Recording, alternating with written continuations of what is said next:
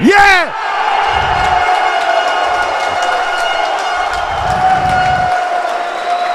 Velika zmaga!